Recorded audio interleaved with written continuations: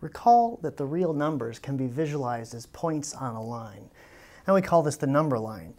You put 0 in the middle, you decide where 1 is, and then you've defined the length 1, and you can put 2, 3, 4, and so on, any of the integers on the number line. And of course, fractions fit in between, and irrational numbers fit on the line too. Every real number has a place, a unique place, on the number line. Now recall complex numbers are numbers that can be expressed in the form a plus bi, where a and b, these coefficients, are real numbers, and i is the special number, the square root of negative 1. How do we visualize complex numbers? We graph them on the plane. And we, the way we do it is we plot a plus bi as ab. And let me show you some examples. For example, plot 3 plus 2i. a is 3, b is 2, so I would just plot 3, 2. So here's 3, 1, 2. That would be the point 3 plus 2i.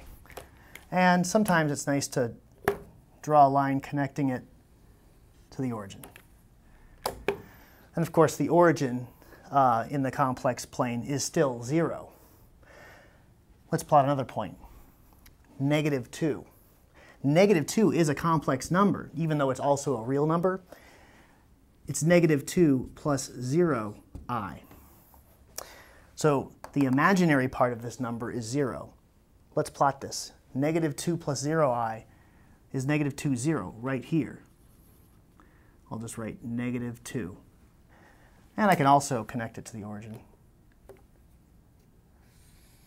So it's important to note that numbers that are right on the horizontal axis are real numbers. And this is therefore called the real axis. Now, let's take a look at another example, 4i.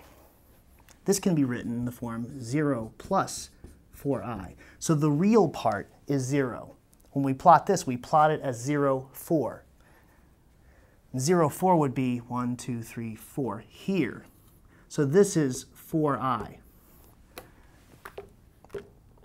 And so just as the horizontal axis is the real axis, the vertical axis is the imaginary axis.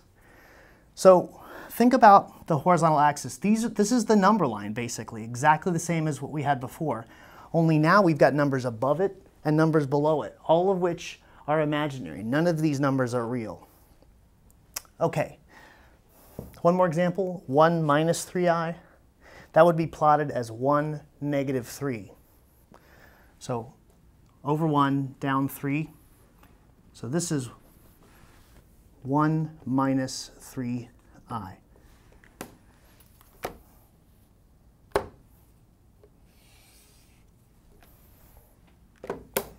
That's it. That's how we plot complex numbers.